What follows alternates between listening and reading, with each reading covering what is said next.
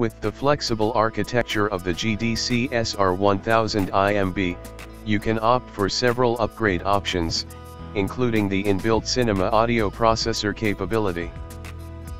The SR1000 offers a variety of built-in audio options, such as the 5.1, 7.1, or 15.1 cinema audio processor, and 16 or 24 channel DTS:X decoder with IAB support.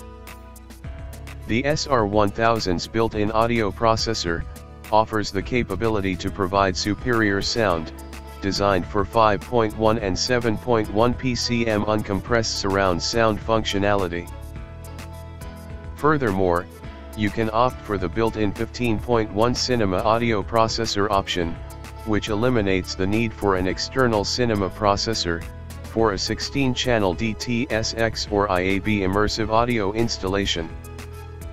You can also enable the 16 or 24 channel DTS:X decoding capability of the server, to feature DTS:X immersive audio solutions. The SR1000's DTS:X solution, supports SMPTE's immersive audio bitstream or IAB standard, delivering a single interoperable audio format for theatrical distribution. For more information on enabling these optional audio features on the SR1000, please get in touch with GDC. Following are the SR1000 configurations available, depending on the audio features desired for your application. Once the server's audio processing capability is enabled, an additional audio tab will be available within the SR1000 web UI. In this tutorial, we will demonstrate how to configure the settings related to audio processing, present under the Audio tab. The audio-related controls and configuration options available within this tab, have been categorized under four sub-tabs. The Processing sub-tab will be shown by default. This sub-tab can be used to access the graphic EQ for the non-LFE channels, and parametric EQ for the LFE channel. Additionally, you can manage the crossover settings for the left, center, and right channels, along with the channel delay and channel gain for each channel. The audio processing option will be enabled by default. You can uncheck this option, in order to bypass the audio processing functionality of the SR1000. Please note, that when you enable or disable this option, the corresponding changes to the audio output, will reflect from the next playback on the server. The fader controls can be used to adjust the main fader or volume level for all channels. The fader level value can range from 0 to 10, which corresponds to a gain output range of minus 90 dB to 10 dB. By default, the fader level value will be set at 7.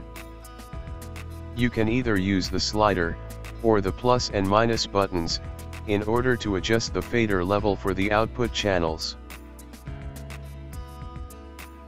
The mute button can be used to fade out all channel outputs, until they are muted.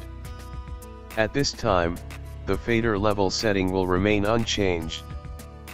Click this button again, to unmute or fade in all the channel outputs, until their original set volumes are restored. The fade in and fade out durations, can be set under the configuration sub-tab. The input level indicator, displays the audio input levels for all channels, in a graphical manner. Each of the channels are represented by their abbreviations, which are mentioned below the audio level meters. You can also shift the position of the fader controls and input level indicator, to a separate vertical panel alongside the web UI, by clicking this button. This feature allows you to view as well as adjust the master fader level, while browsing through any web UI screen. You can restore the position of these controls, by clicking on this button. The signal generator can be used to output an audio test signal, to one or more output channels. This function is useful for calibrating the auditorium's sound system. We would recommend that you refer to the GDC SR1000 user manual, for more information regarding the audio calibration procedure. The signal generator can produce five types of test signals, which are pink noise, 100 Hz sine, 1 kHz sine, 10 kHz sine, and sweep. Using the signal type drop-down, you can select the required test signal, and initiate playback for the same. You can now choose to either play the test signal through selected channels, or play it sequentially through each channel. Select the normal option from the play in sequence drop-down, and choose one or more channels through which the test signal should be played.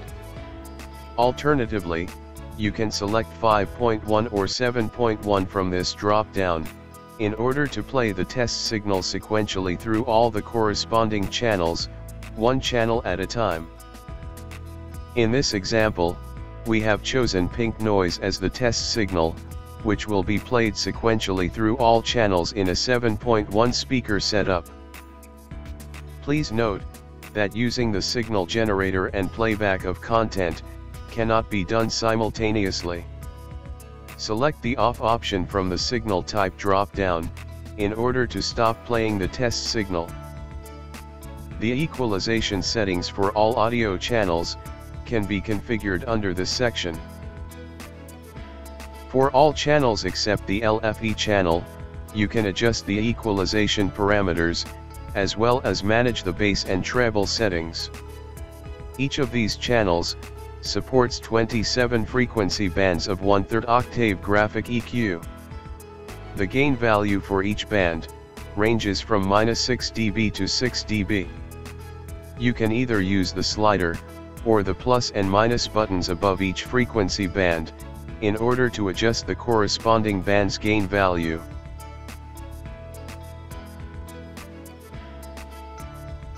Furthermore, you can also set the individual channel gain, and channel delay value for each output channel, within the graphic EQ subtab itself.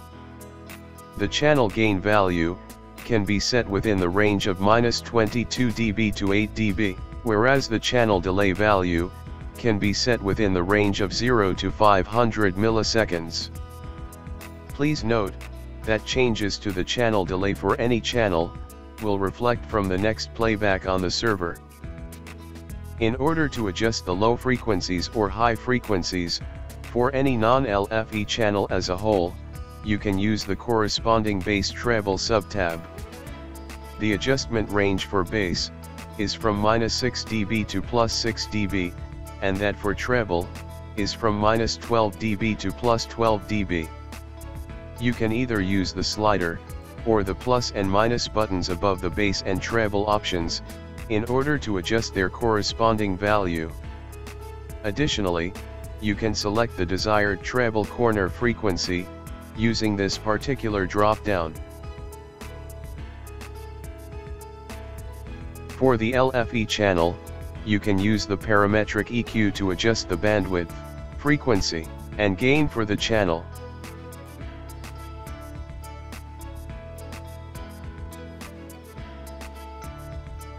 Additionally, you can select either the optimized default low-pass filter, or SMPTE defined low-pass filter. You can also switch the phase invert off or on. This option inverts the phase of the LFE channel, which can be used to check whether the subwoofer is in phase with the center channel or not. You can also enable the crossover functionality for the left, center, and right channels, in a two-way bi-amplified mode. To do so, click on the corresponding crossover subtab, and select the biamp option from the active crossover dropdown. Please note, that an extra output channel will be taken, for each active crossover that has been activated. Once enabled, you can configure the low band and high band filter settings for these three channels. This includes selecting a filter type for the selected band, and selecting the slope based on the filter type chosen. The channel which the selected band will replace, will be set by default. You can set the cutoff frequency for the low, as well as the high band.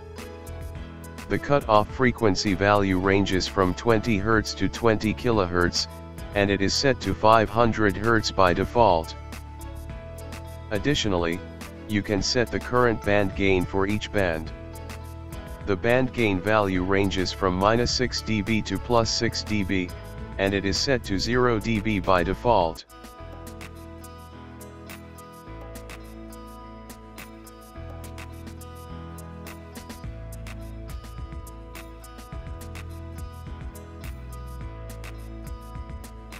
The copy option can be used to copy the selected channel settings to a specified channel.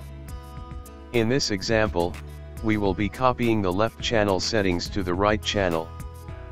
To do so, select the left channel, and click the copy button. Then, select the right channel from the copy to drop down, and click the green tick button.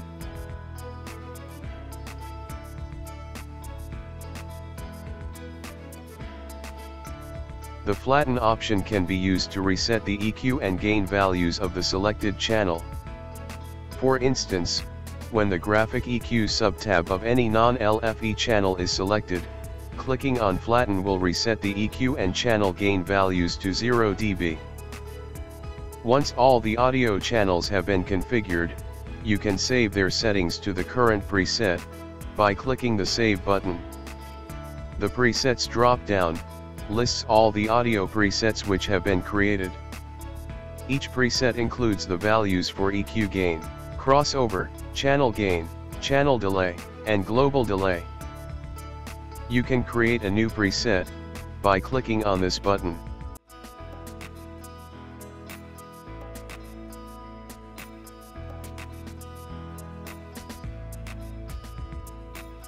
Every preset that is created, can be copied, renamed, saved, and deleted using the corresponding options.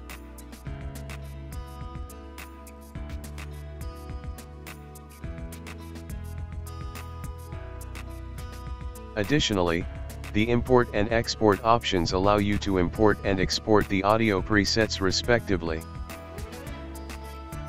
The DCP Channels subtab can be used to select the channel assignment standard, that the DCP adheres to.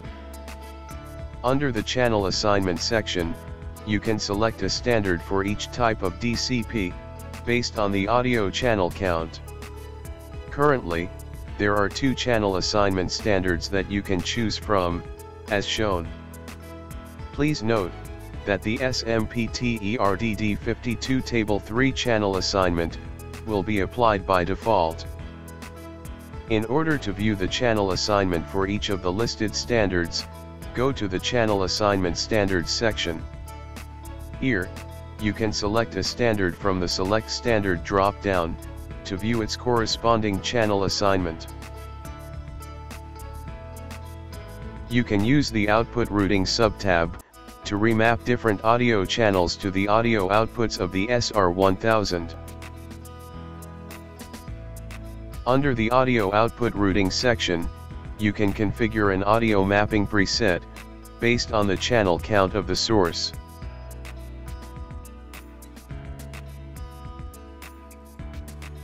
Please note, that the GDC channel assignment routing preset, will be applied by default. In order to view and configure these presets, go to the routing presets section. The routing preset drop-down, you can select a preset to view or change the routing settings.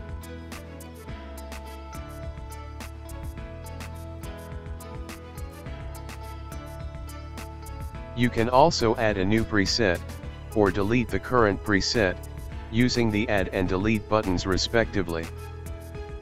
Click on the Add button, to add a new preset. Enter the preset name and click OK. You can now assign any input channel defined by the source, to any output channel.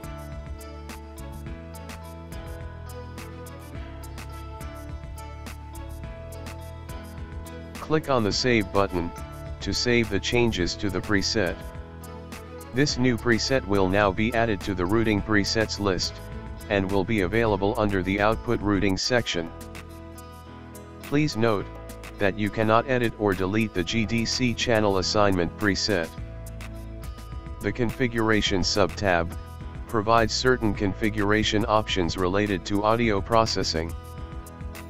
The global delay option can be used to achieve audio-video synchronization, and can be set in the range of minus 250 milliseconds to 200 milliseconds. The output sampling rate option, displays the audio output sampling rate, and will be fixed at 48 kHz. The fade-in option can be used to set the fade-in duration, when the master fader is unmuted. The fade-out option can be used to set the fade-out duration, when the master fader is muted. The Enable LTC output on channel 15-16 option, can be used to enable LTC output on AES channels 15 and 16, in order to synchronize with external systems like third-party 4D systems. The Disable L plus R plus C mix on channel 9 option, will be unchecked by default. This indicates that channel 9 carries a LCR mix, which can be used as a monitor output. If this option is enabled, it indicates that channel 9 does not carry a LCR mix. If the center channel on L/R option is checked, the center channel output will be mixed with the left and right channels.